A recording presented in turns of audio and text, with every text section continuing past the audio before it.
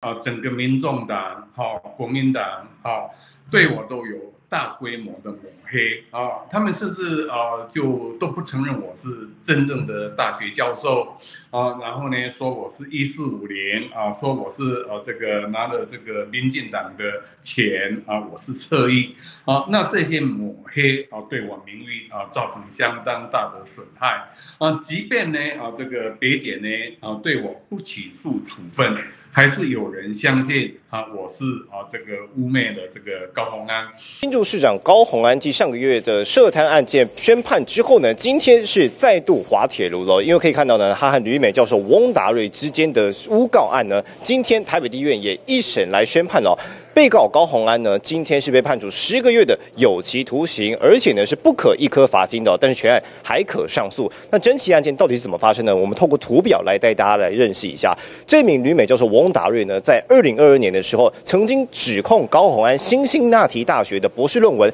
根本都是抄袭，而且他甚至直指高鸿安被指导教授除名，也没有自己的博士研究哦。那这番言论，高鸿安听了当然就不高兴了，最后呢是提告他诽谤，但是呢整体。案件又不起诉，不起诉之后，翁达瑞再反告这个高鸿安来进行诬告哦。那双方呢，其实四度在台北地院来交手啊。高鸿安上次上高洪安当时呢，甚至是指出啊，他已经请新兴那提大学来重新审查他的论文了。那也别认为大家都是笨蛋。当然，这句话就是说给翁达瑞听的。而且呢，高洪安在庭上的时候呢，甚至是指出，其实现在很多名人啊，很多艺人或者说很多知名人物，在网络上。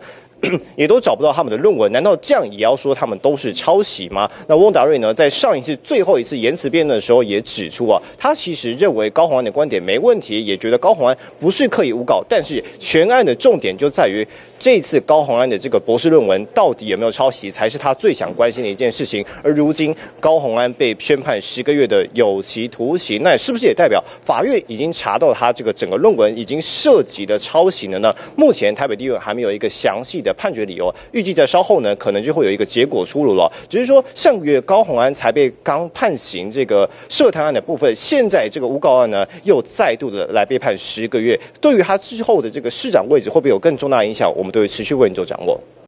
好，我们谢谢尤涛。当然，这新竹市长高鸿安的不满吕美教授翁瑞指控他是论文抄袭的这个言论，提高加重诽谤罪。好，那这个陈时芬呢，获不起诉处分之后，提起告诉控诉高鸿安诬告罪，在台北地院法院经过四度开庭之后呢，已经判决高鸿安有期徒刑十月，全案可以上诉。回顾整起案件，高鸿安因为不满吕美教授翁达瑞指控他的博士论文涉嫌抄袭，提告加重诽谤。检方给予不起诉处分后，翁达瑞自诉诬告，两人第四度交锋，也分别提出厚厚一叠证据。其中，翁达瑞指控高鸿安曾两度修改博士论文，却没主动告诉检方，且还提供修改过的版本，足以证明他有诬告犯意。他从一份文稿把内容搬到另外一份文稿，他不可能不知道。那我在脸书上说他抄袭，啊，也就是从期刊论文把内容搬到博士论文，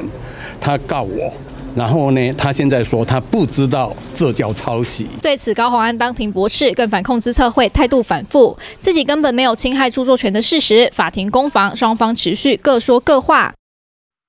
啊，就是这个是诬告本来就很难告得赢。啊，另外呢，就是诬告是算公诉罪，哈，一般都是先啊到检察官那边告，那么呢，我这个是自诉，好，直接呢，哦到法院，好告他诬告，好，自诉的诬告呢，告赢的少之又少，啊，这是非常难得，啊。诬告自诉赢，而且呢判了十个月的徒刑啊，不能缓刑啊，不能那个服劳役啊。如果高洪安没有上诉啊，他马上就要被抓进去关啊，这是非常罕见，啊，是很讽刺啊。他基本上啊，就是说啊，我揭发他博士论文抄袭，他有没有抄袭，他自己心知肚明。啊，因为论文是他自己写的，内容哪里来的他知道。啊，但是呢，他为了选举的关系，哈，然后呢诬告我制造清白的假象。啊，等到呢这个检察官给我不起诉处分的时候，他已经当选了。我这一口气吞不下去啊，不是因为我个人，而是因为他欺骗了广大的新族选民啊，让台湾的社会没有是非公义啊。基于这样的原则，我决定对他提起诬告啊，然后呢，让他啊已经啊这个获得的选举利益呢啊，让社会大众呢可以知道他是透过啊不法的诬告取得的。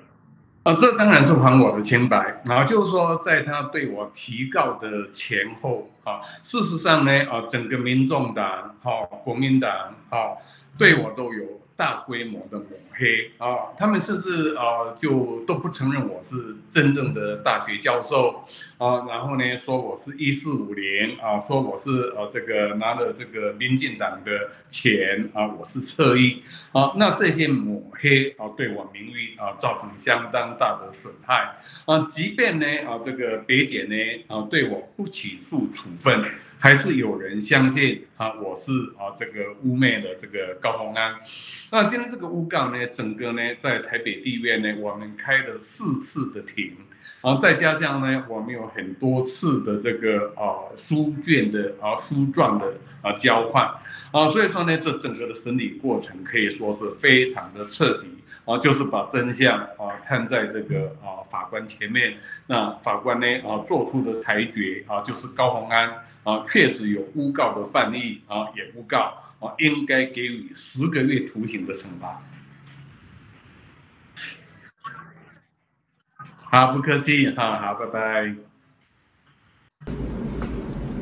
高鸿安官司缠身，今天对啊这个诬告罪的部分，台北地院也判高鸿安诬告罪成立，十个月徒刑，因此连同之前贪污治罪条例的七年四个月。目前现阶段高鸿安面临的这两个官司都是败诉的情况。那高鸿安当然有权上诉，但是在贪污治罪条例的这个利用职务榨取财物，那本来本质就是七年以上的重罪。那以高院今年最呃四月最新的判决，对诈领助理费案，那个陈呃高雄版的高鸿安陈翠鸾，他的辩词一样是助理自愿上缴，他是二审高院是重判十年五个月。因此，高鸿安在贪污治罪的部分上诉，可能面临加重改判的这样的一个风险。那在诬告罪的部分，同样的，他上诉之后，如果说啊，这个自诉人，也就是陈时奋教授，他也认为说刑度不够而提起上诉，那高鸿安当然面临的二审，有可能是啊刑度会加重的风险。